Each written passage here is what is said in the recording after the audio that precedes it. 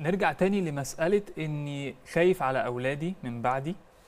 فبضطر لسبب أو لآخر إني أقول والله إيه أنا عايز أكتب آه، بقية آه، حاجاتي أو ممتلكاتي أو ما إلى ذلك أكتبها لأولادي علشان ما يحصلش نزاع ما بينهم وما بين أعمامهم.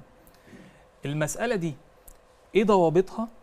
اللي أقدر أحطها في سياقها علشان أبقى بتصرف التصرف ده بشكل صحيح يعني لا اؤخذ عليه شرعا. نعم. إيه الضوابط واحد اتنين تلاتة؟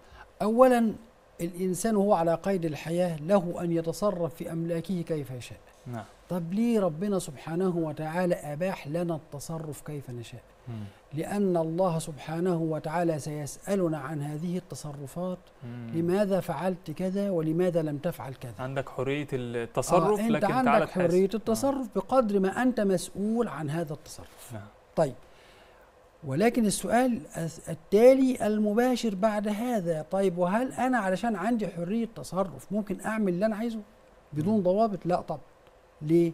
علشان تعفي نفسك من المسألة أمام الله سبحانه وتعالى لابد وأن تتصرف تصرفا صحيحا. نعم. طب إيه هو التصرف الصحيح؟ أول حاجة أنني لا أعطل أحكام الميراث. فأنا ما أكتبش كل التركة. أيوه. لاني لو كتبت كل التركة فقد عطلت أحكام الميراث. حتى لو أنا على خلاف مع إخواتي حتى مثلا؟ لو على خلاف. آه. ليه؟ زي ما قلنا قبل كده. أن الإنسان ليس هو المالك الحقيقي للمال.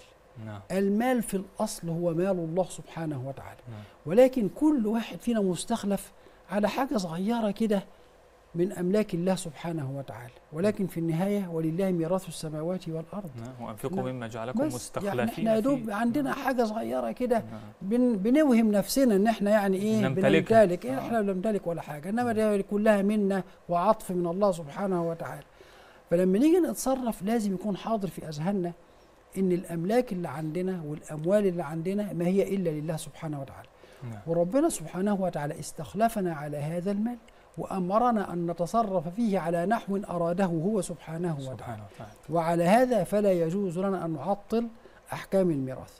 الأمر الثاني لو أنا هكتب بعض أملاكي لبعض الورثة لازم يكون عندي مبرر.